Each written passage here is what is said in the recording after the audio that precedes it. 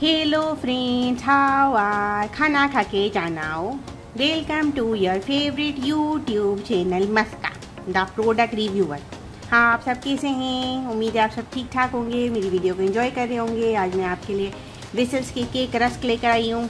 मज़े मज़े के होंगे, मुझे नहीं पता। मज़े मज़े के मैंने अपनी तरफ़ से लगा दिया आज तो टेस्ट करने से पहले। तो बस कि आज मैंने कहा, चले आपके सामने इसको खोलते।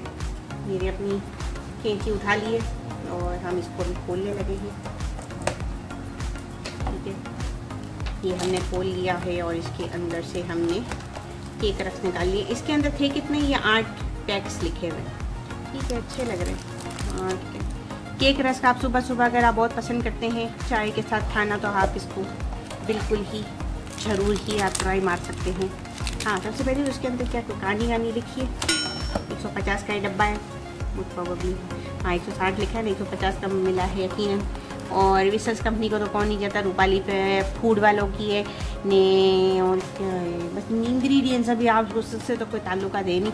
हाँ इसके अंदर एक्सपायरी भी लिखी थी ना हाँ तारीख पैदाइश तारीख फ़ूड की दोनों लिखी हुई हैं और अभी ठीक है, बस सही है। हमारा बहुत बहुत का टाइम पड़ा हुआ है इसको। कि अभी माशाल्लाह से लिखा हुआ है, तारीख की और तारीख पैदाइश ये एक बीस रुपये का पड़ता है। ये भी प्राइस लिखी हुई है सिंगल पीस की भी। अब हम इसको खोल लेते हैं। अल्लाह के फजलो करम से। आज मैंने प्लेट भी नहीं लाई, देखे। जल्दी जल्दी के चक्कर में ना बंदा ये सब चीज़ें भूल जाता है। शक्ल तो बहुत अच्छी लग रही है, इसको मैं थोड़ा सा यहाँ से तोड़ के खा लेती हूँ। मज़े का लग रहा है।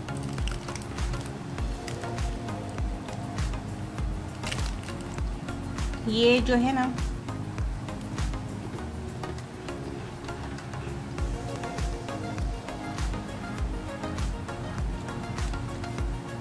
अब मैं आपको इसकी डिटेल बताती हूँ।